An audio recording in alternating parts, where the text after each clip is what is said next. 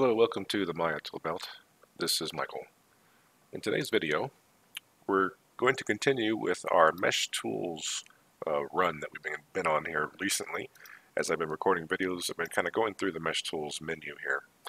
And we've been going through kind of the more uh, commonly used tools, I would say. At this point, I think most of the ones that are left are kind of the more um, lesser used tools, with the exception of quad draw. I do want to get back to quad draw. It's a bit more involved tool. I'm to, I want to get to that though.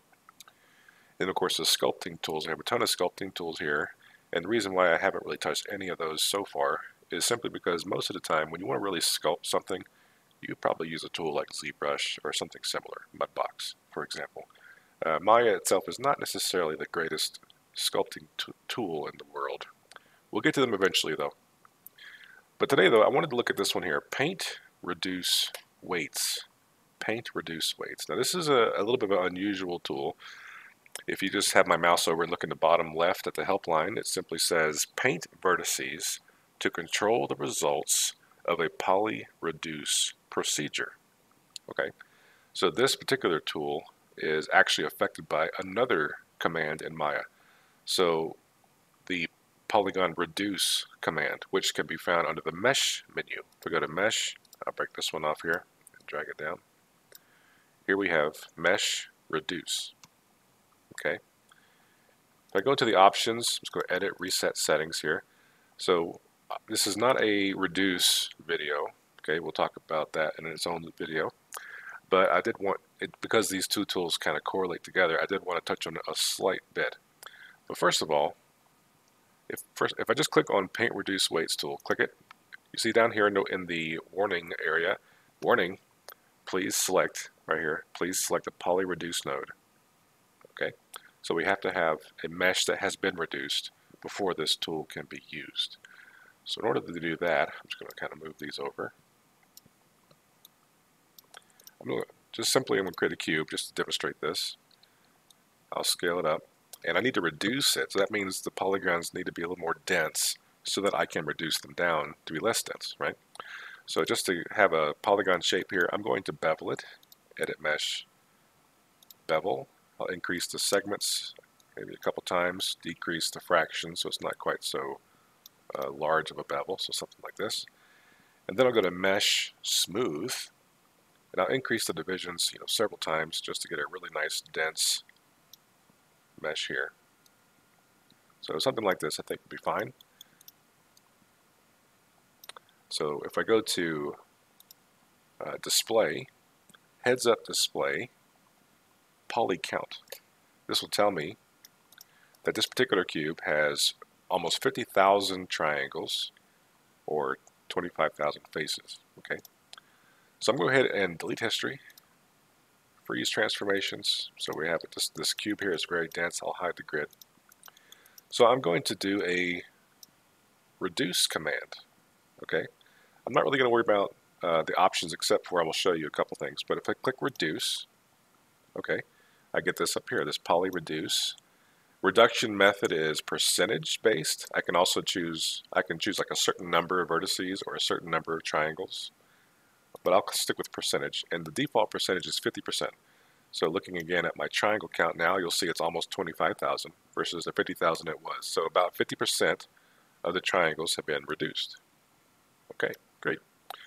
Now, let's say I want to use my Paint Reduce Weights tool over here. If I click it, oops, warning, or error, actually this is a red, red uh, message, meaning it's an error, cannot paint weights on the reduced mesh. Turn Keep Original on in the reduce options and paint weights. So I actually made a mistake, not really, I was just showing you, that you have to, in the reduce options to begin with, make sure you turn keep original on in order to use this tool. So there's lots of little hoops to have to jump through. I'm going to do a few times to, before the uh, reduction. Okay, here we are. Back, back to the smooth. So now I'm going to reduce, but this time I'm going to check keep original. Percentage is still here, percentage number is 50%, and I'll just hit reduce. Oh, now we have two cubes. Okay, so keep original.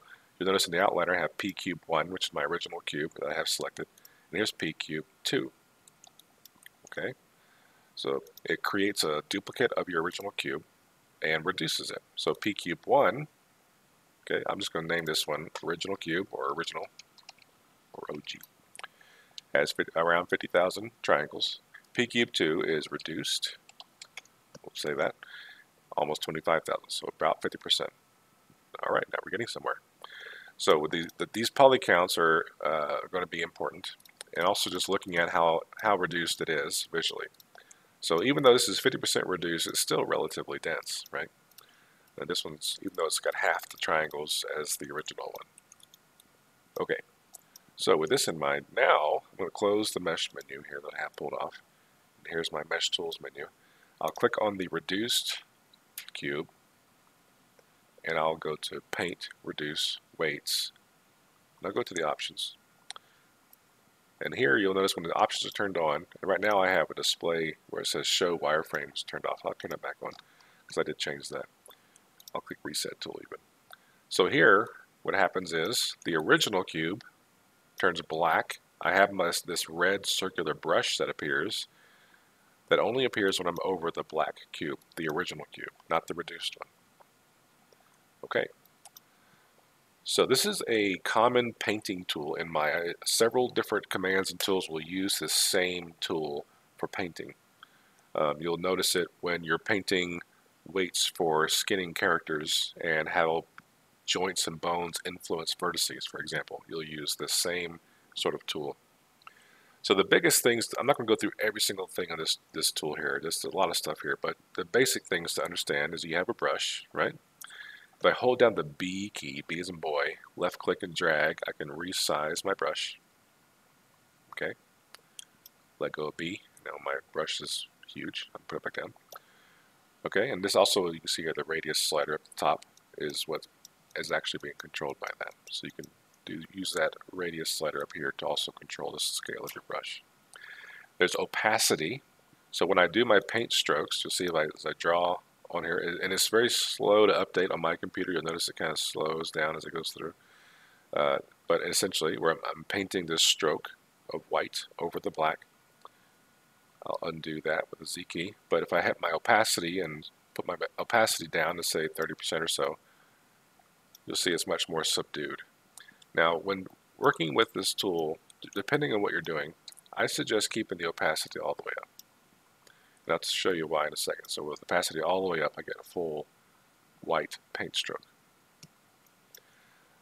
And then we have some different profiles. So if you want kind of a, a square brush, okay, I do that. And then we have a few different profile brushes. Like this one has a much uh, smaller kind of soft middle to the brush stroke. I do that. Versus this one which goes all the way to the outer edges of the brush, of the uh, radius of the brush. Now you'll notice that the paint strokes are not perfectly circular. Like I can just click here and it's got this kind of jagged shape to it. That's because I'm painting vertices, I'm painting vertexes. So if my cube was much more dense, like I had just so many vertices you couldn't even see them, then maybe my paint strokes would be more smooth. But right now, what's happening is each vertex is getting painted. And so that's why you're have a line going across from this point to that point, down, down, and across to here, and so on. Kind of like pixel art if you are into that kind of uh, art style. All right, hit undo now and remove that stroke. Okay, so that's essentially up here. And then down here we have paint attributes. And so here it's showing us, hey, we're painting the vertex weights of the poly reduce command. That's what it's essentially saying. And then we have a couple paint operations. Now, not all these paint operations are going to be useful for what we're doing here right now, because this, again, like I said, this tool is used for many different commands in Maya. And so, like for example, using scale isn't really going to do much for us. Replace, add, and smooth will work for us though. So let me kind of explain exactly what's happening here. I'm actually what I'm going to do is turn on wireframe on shaded just so you can see the reduced cube over here. So right now, the original cube is painted all in black. So what that essentially means is that the paint weights tool is having no effect on the reduction. There's no change. If I start painting white on here though, you'll notice the reduced cube over here begins to kind of shift around and change based on how I'm painting on the original cube. Again, it's a little bit slow to update. Okay, I'm kind of painting through here. All right, so I painted some strokes there, and you see that like where I painted white here, the density is much higher here versus down here is much lower. So essentially what's happening here is that I'm, wherever you paint white, you're essentially saying that the reduction over here is less. Okay, so you're essentially, for example, let's say you uh, want to reduce an object that's a bit more complicated than a cube, and maybe you're losing the shape you were trying to keep. Let's say, let's say maybe it's like a uh, organic shape, like a tree trunk. And when you reduce it, the tree trunk starts to kind of squish and, and move and mangle itself in a way you don't want. Well, you can use this tool, make sure you have keep original turned on when you reduce, and you can paint where you want the shape to kind of stay closer to the original shape. Okay, So you're trying, trying to pinpoint where the reduction happens versus where you don't want it to happen. So that's what's happening when I'm painting on here, and we can demonstrate that more here in a second. So back over here, these paint operations, right here, this is a replace. That's what we're doing right now. You see a little R in the middle of my brush saying replace. There's also add. That little R changes to an A. And then there's smooth, with a little SM on my brush. If I do smooth, you'll notice it kind of smooths the paint stroke where I'm painting through here. So replace and add are primarily what we're going to be looking at. Smooth doesn't really do a whole lot with this particular function because again it's, it's a per vertex thing. So smoothing the vertex may make a little bit of a change, especially if your mesh is very dense. Maybe that smoothing is going to be needed. For this particular mesh, even though it is dense, it's not nearly as dense as it could be. It could be millions of polygons for like a ZBrush sculpted model or something. And therefore the, the smoothing isn't having as much effect on this particular model. All right, so replace and add. What this means is where I'm painting, let's say for example, wherever I'm painting with replace, it's actually going to change the value of the vertex where I'm painting to be the new value versus add. Let's say my, here's down here is the painting, the value that I'm painting is all the way up to one. Let's say if I paint with a value of zero, okay? That essentially means I'm going to paint with black. But with add turned on, it's adding zero to the current value. And right now the current value for these white areas is 1. White means all the way up to 1. Black means all the way down to 0. So by using the add operation and adding 0 to 1, it means it's 1, right? 1 plus 0 equals 1. If I do replace, I'm going to replace the values with 0. So now they become black. See that? So then again, if I change my value to 1 and go to add, it'll add 1 to 0, which means 1, right? So if you do a, a more subtle value, like 0.5 or so, okay, so again, I'm going to hit replace first. So I'm going to replace these values with 0.5, so it turns kind of a gray color. And let's say I go to add, add 0.5, it will go this way. So here you can kind of see that the original stroke is that 0.5 gray, but as I paint over where 0.5 was already, it adds 0.5, so this becomes more white in the middle, and it goes across. If I do replace instead and go across with it this way, it replaces with 0.5, so it stays 0.5 all the way through. It doesn't get compounded there in the middle. So hopefully that makes sense a little bit. There's other things obviously in here. The flood button, if I know that I want all of this, this entire queue to be a value of 1, I click flood. It'll flood the whole thing with a value of 1. And then I click replace, change my value to 0, and then maybe I, it would be easier for me to paint where the 0 should be versus where the white should be. Maybe that's what is more useful for this particular situation, whatever that might be. So for this, I'm going to actually undo, okay, I'm going to paint black over like these corners. And we're going to see how that's uh, going to affect our reduction. Let's do this. And actually what I'll do, I'll just go kind of go all the way down here. Again, it's a little bit slow to update. The reason why it's a little slow to update is because it's changing dynamically here what's happening to this uh, reduced cube. If I had the reduction percentage down to 0%, meaning that it's not reduced at all, then this would go much faster. I'll demonstrate that. If I click on this cube, poly reduce, change my percentage to zero. There we go. Then go back to this cube. I need to go back to my, or actually click on this cube and go to paint reduce weights. Okay, back to here again. And now if I paint, it's much quicker. See that?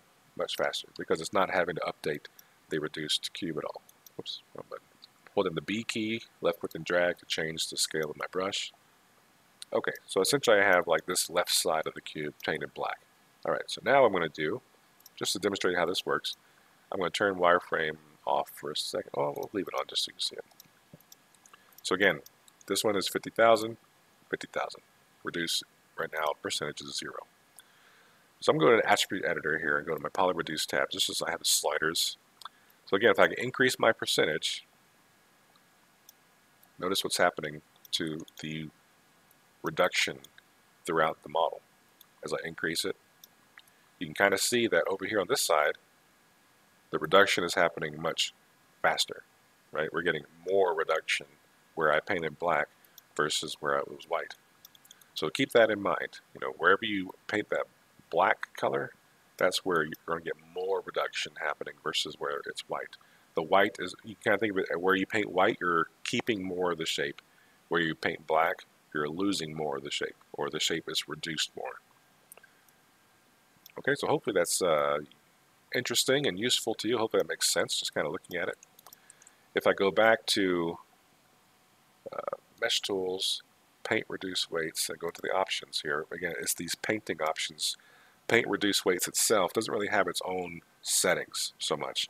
It's simply that it's using these this paint command that is very common to many commands in Maya to paint this particular attribute. Okay.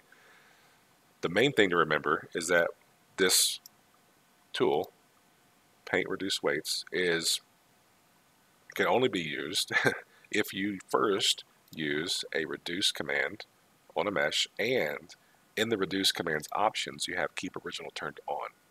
If you don't have keep original turned on or you haven't done a reduce, then this tool under mesh tools, paint reduce weights, this tool does nothing. so it's kind of relying on these other things before this tool actually becomes usable. So hopefully that's helpful and you keep that in mind as you go forward. Please let me know in the comments if you feel like I missed something. Obviously there's more to the reduce tool. There's, there's more to that command that I haven't uh, touched on. I was mainly focusing on the paint reduce weights command. Uh, I guess one more thing real quick. If I turn off the wireframe on shaded, and in the tool settings here, I can go down here to, for example, display, and we have some options here like show wireframe. I can turn that off, and then you can see when I'm painting, it'll actually not have the wireframe visible in case that's more useful for you as far as uh, being able to see what you're painting. You can also change, you know, some of these different settings here for uh, how the display of the model is given to you. But that's the main one I find useful is to turn that show wireframe turned off.